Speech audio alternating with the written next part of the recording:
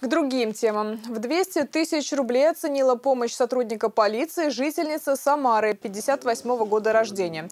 Взятку за прекращение проверки в отношении родственника, которого подозревают в незаконном обороте наркотиков, пыталась передать прямо в отделе полиции. Но коррупционная схема была прервана в самом начале. Женщину взяли с поличным в момент передачи денег.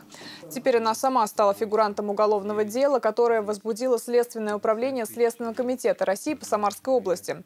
Задачу взять взятки в крупном размере ей грозит штраф от 1 до 3 миллионов рублей или лишение свободы на срок от 7 до 12 лет.